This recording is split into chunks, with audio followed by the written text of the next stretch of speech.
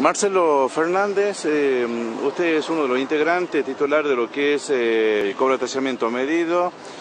¿Qué tuvieron? ¿Un inconveniente en la jornada de la fecha? Y a veces sorprende, ¿no? Cuando hacen un, cuando ustedes viven de esto, ¿no?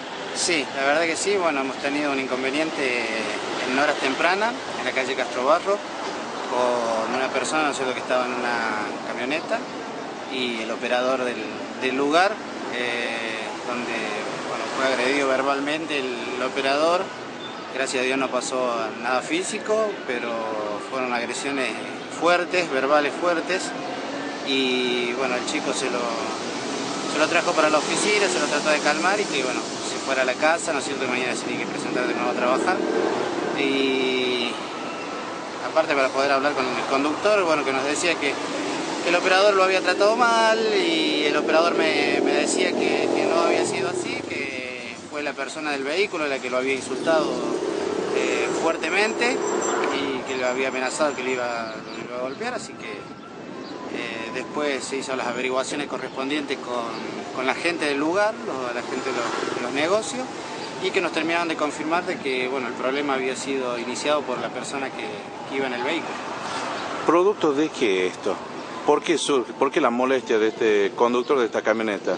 Bueno, cuando le fue a cobrar el el, este caballero le paga con 100 pesos, entonces el chico ya había ¿Cuánto es lo que le tenía que cobrar? 3 pesos. 3 pesos. 3 pesos.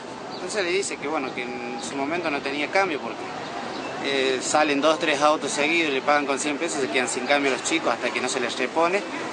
Entonces el muchachito le dijo que, bueno, que podía, que podía pasar por la oficina, eh, hacer, ah. el, el ticket y bueno, parece que eso es lo que le molestó a la, persona y, empezó todo el, problema. ¿El problema es con el médico Barrante? ¿Con Así él es? el doctor Barrante. El doctor Barrante fue el problema, bueno, él llamó a las autoridades policiales eh, para el lugar. Ah, incluso a la policía, ¿por qué llamó él a la policía? Y porque supuestamente el muchachito lo había insultado. Por eso nosotros lo, separamos del lugar en el momento del muchachito, porque para que no, no, no, sea más grande el problema pero teníamos que escuchar las dos partes, la del operario y la, de, del conductor. Y bueno, y escuchar las dos campanas y escuchar una tercera que era la de la gente que estaba en el lugar. Le fuimos, les preguntamos, le consultamos a ver si habían visto qué lo que había pasado. Bueno, y la gente nos confirmó de que el problema lo había eh, iniciado la, persona que iba en el vehículo. En este caso Barrante, ¿no? Claro, que lo había insultado, que lo había agredido. ¿Por tres eh, pesos? y por no haber querido venir a pagar en la oficina de ustedes, porque no tenía cambio. Calculamos que ese es el motivo. Eh, sin antes, con todo esto, ¿qué pasa en esta situación cuando mm, también hay ciudadanos que van a andar con, no todos andan con esos montos, ¿no? Por la devaluación, todo esto, la gente que mayormente anda con 100 pesos, 50, eh, eh, ¿qué pasa? ¿Cuentan con cambios? Sí, nosotros ¿Con sencillos? Nosotros le, le, damos cambio a los chicos antes de salir a trabajar. Eh, se les da el cambio, ¿no es cierto?, para que puedan tener, ¿no es la manera de manejarse con, los tickets que tengan que cobrar. Pero como le digo, muchas veces salen dos, tres vehículos seguidos que pagan con 100 y los chicos se quedan sin cambio un momento, que es hasta que se les vuelve, a reponer el cambio. Eh, por eso nosotros pedimos ¿cierto? a la gente ¿no es cierto? tener eh, paciencia. Eh, muchas veces los chicos se los trata de que, choros, que nos vienen a robar.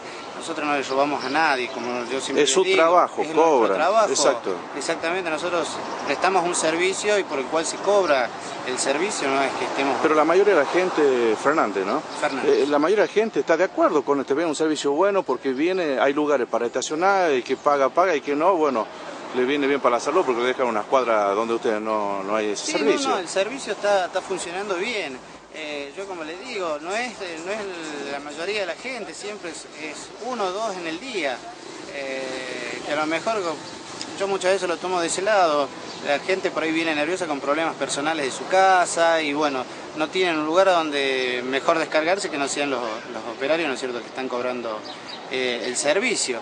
Eh, pero yo siempre le digo a los chicos que no tienen que entrar en discusión ni en conflicto con nadie, no tienen que ir al choque con nadie. No tiene que faltar el respeto a nadie porque bueno, nosotros estamos para cumplir un servicio y esa es nuestra función. Si hay alguna persona que lo insulta o lo agrede, tiene que hacer un paso al costado y seguir con su trabajo. Eh, bueno, Total, este ustedes le toman la patente, ya tienen todo registrado, ¿no? todos los datos. Eh, desgraciadamente, bueno, parece que este, este, señor, ¿no es cierto?, no le cayó bien la, situación que pasó de de que no, no le hayan podido cobrar en el momento, porque después él me dice, toma, acá tengo los 100 pesos, déjatelo a los 100 pesos. No es ese el punto tampoco. Eh, nosotros cumplimos con nuestro servicio y cobramos lo que realmente tiene que vale el servicio, nada más. Eh, solamente le pedimos muchas veces paciencia. Los chicos trabajan uno por, cuadra y a veces las cuadras son largas, entonces si están cobrando un vehículo y tienen que cobrar el otro vehículo en la otra punta, ¿no es cierto? Tienen que tener ese poquito de tolerancia, ¿no es cierto?, de que el chico se desocupe y vaya y les pueda cobrar como corresponde. Por último, eh, digamos, ustedes al, ir, y eso lo hicieron bien, escucharon la tercera campana, ¿no? Que esto la, gente del lugar y comerciantes del lugar que digan que, le falta la palabra, el respeto fue barrante hacia el trabajador. Exactamente, exactamente. No nos, no nos llevamos solamente lo que nos dijo el operador ni lo que nos dijo el el conductor del vehículo, porque tampoco podemos, eh, ¿no es cierto?, nosotros tomar una determinación sobre eso, porque es una palabra contra la otra. Entonces nosotros lo que hicimos fue bueno, averiguar con la gente de los comercios que estaba ahí, eh, justo era horario en que hay mucho movimiento de gente en la calle y bueno, se consultó y la gente nos dijo que bueno, que el problema lo había generado la persona que iba en el vehículo y no el operario.